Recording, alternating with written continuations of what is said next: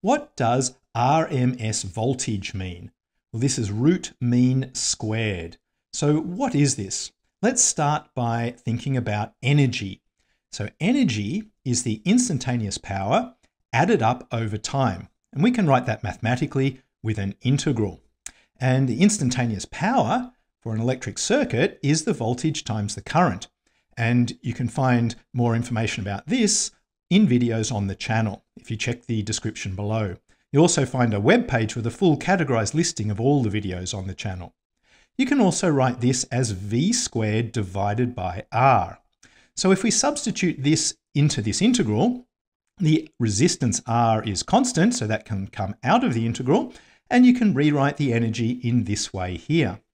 Now what I've done, I've got the 1 on R outside the integral, but I've also multiplied by 1 on T, and I've taken the T out the front. But now we can see that in the square brackets, we've got something which is the mean of the squared voltage. Here's the voltage squared, and we're adding it up over time and dividing by capital T. So that's the mean, it's the average of the squared voltage. So this is the mean squared up here, and we're getting towards this RMS. We've still got to find out about the R component though.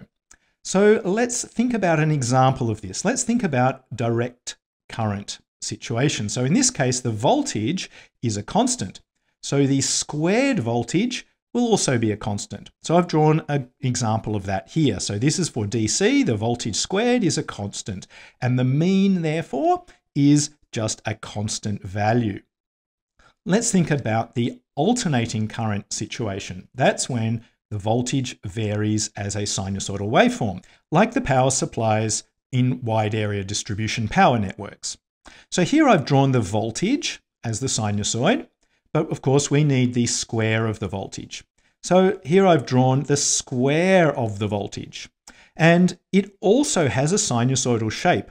And you can confirm that for yourself with some basic trigonometric expressions.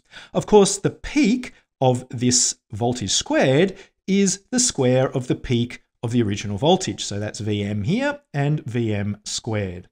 Now let's think about taking the integral of this, which is what we need up here.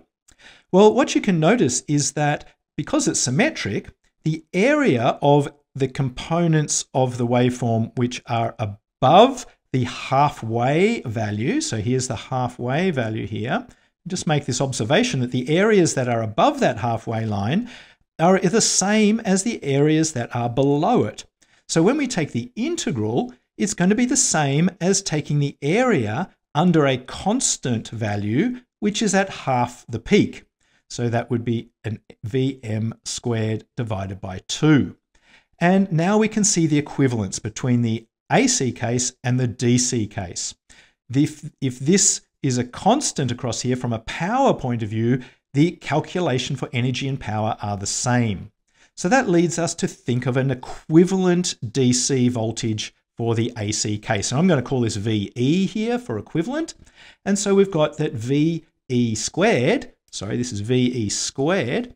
So VE squared equals Vm squared on 2. For an equivalent DC circuit, that would give the same energy and power as this AC circuit. So we take the square root of both sides and we see that VE equals the square root of Vm squared on 2.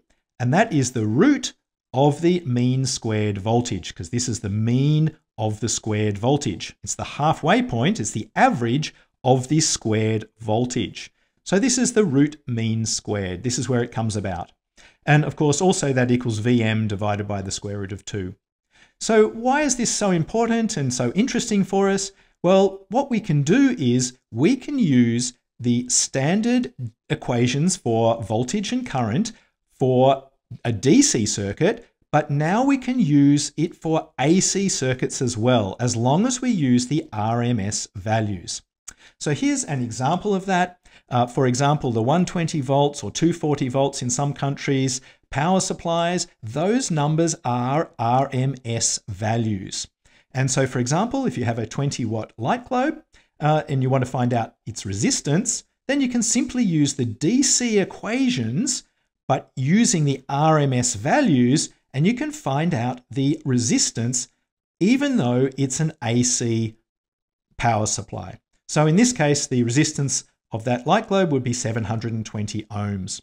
Also, you can find out the equivalent RMS current as well. So we've done the RMS voltage here, but there's an equivalent RMS current, exactly found from using the DC equations V equals IR. So that's a very handy thing and very helpful when you're dealing with AC circuits to be able to use those equations from the DC circuits. And that's the power of RMS. So if you found this video helpful, uh, please give the video a like with a thumbs up. It helps others to find the video. Of course, subscribe to the channel for more videos. And as I said before, check out the description below. You'll find a link to a web page which has a full categorized listing of all the videos on the channel.